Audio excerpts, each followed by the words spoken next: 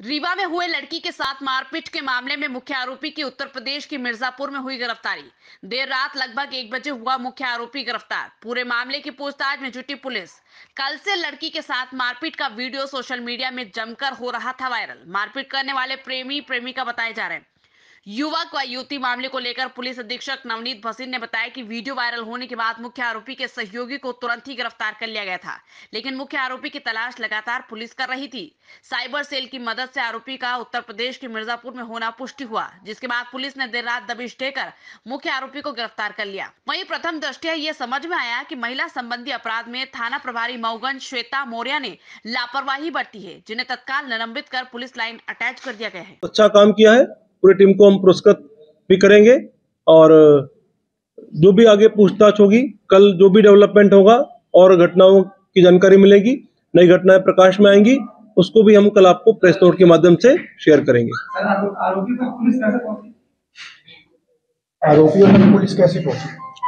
जैसा कि मैंने आपको बताया कि लगातार प्रत्येक घटना पर हमारे सभी वरिष्ठ अधिकारी पहुँचे थे और उन्होंने न सिर्फ़ जो कैमरे पुलिस के हैं अपितु पैदल भ्रमण करके मोहल्ले और कॉलोनी में जो कैमरे लगे थे उनसे भी सहयोग लिया और परसों की घटना के पश्चात जब हमको सूचना मिली तो वहाँ जो हम लोगों ने फुटेज कलेक्ट किए तो एक मुखबिर की सूचना पर एक व्यक्ति का नाम उसमें आया।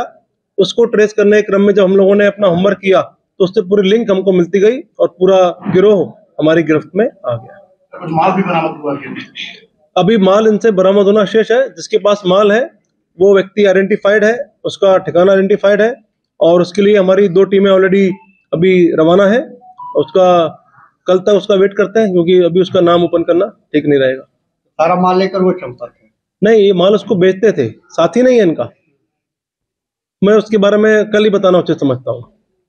मऊगंज का घटनाक्रम जो आपने देखा उसके पश्चात दोनों आरोपी पुलिस की गिरफ्त में है और उसमें अभी हमारे एसडीएम साहब तहसीलदार साहब और एसडीओपी साहब की टीम ने जाके वहाँ पे परीक्षण करने के पश्चात जो पाया उसके अनुसार लोगों ने वहाँ पे जो आरोपियों के घरों में अतिक्रमण था जो भी उनके द्वारा वैध कब्जे थे उस पर भी कार्रवाई प्रारंभ कर दी गई है जिसके फ़ोटोज़ वगैरह आपके पास पहुँच गए होंगे। आगे जो भी कार्रवाई और हम लोग करेंगे वो भी आप लोगों से हम लोग शेयर करेंगे? क्या है? अभी प्रथम दृष्टया अपराध पंजीबद्ध करने में विलंब और महिला अपराध में संवेदनशीलता न बरतने क्रम में उनको निलंबित करके लाइन अटैच किया गया है। एडिशनल एसपी मऊगंज को जाँच सौंपी गई है। जाँच रिपोर्ट आने के पश्चात ही आगे इसके बारे में और चर्चा की जा सकेगी। सर देखने को आया कि वो लड़की को संजय गांधी ने कर दिया उसमें कैसे रात को संजय गांधी में जो घटना जिनके संग हुई है फरियादिया वो आ चुकी थी। संजय गांधी भी उनके साथ रात को हमारे शहर की सीएसपी और बिछिया थाना प्रभारी दोनों साथ में रही और उनके साथ में पूरा उनके साथ रह के जो भी उनका चेकअप था ट्रीटमेंट था, वो कराया गया। सुबह भी हम लोगों ने उनका अपडेट लिया था। कलेक्टर साहब ने भी लिया था, मैंने भी लिया और अभी उनको कोई समस्या नहीं है। और जब भी कोई ऐसी और आगे समस्या होगी तो हम लोग उसके लिए शहर इसलिए लाए हैं कि मयूरगंज क्षेत्र में इतनी संभवता संसाधन ना हो। इसलिए यहाँ पर कोई समस्या होगी तो हम लोग उसको जल्दी से टैकल कर लेंगे। अभी वो स्वस्थ है, कोई समस्या उनको नहीं है।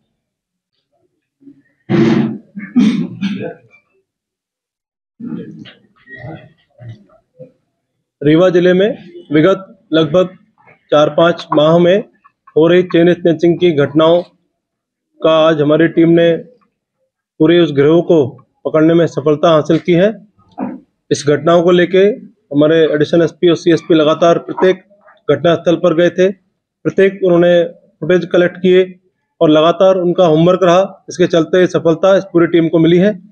इसमें पंद्रह चेन स्नैचिंग की घटनाएँ इनके द्वारा अभी तक कबूली जा चुकी हैं और अभी हमारी पूछताछ इनसे जारी है। इन पंद्रह घटनाओं में आठ घटनाएँ समान थाने की हैं, पाँच विश्वविद्यालय थाने की, एक सिविल लाइन और एक अमैया थाने की घटना है।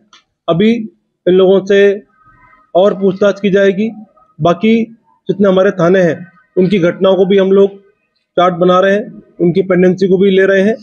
उसमें इनकी भूमिका क्या थी? अभी तक की पूछताछ में छह लोगों का ग्रुप सामने आया है।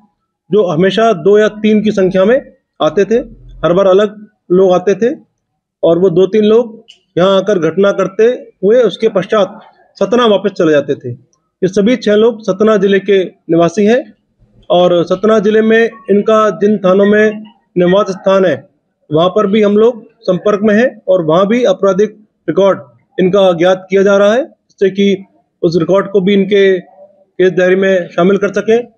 इसके साथ ही हम दमोह, कटनी, सतना तीन जिलों के एसपी साहिबान के संपर्क में हैं। उन तीनों जिलों के एसपी साहिबान को हम इनके फ़ोटो शेयर कर रहे हैं, फ़ोन नंबर शेयर कर रहे हैं, जिससे वहाँ की इनकी आशंका है, जिन घटनाओं में लिप्त होने की तो वहाँ की घटनाएँ भी ट्रेस हो सके।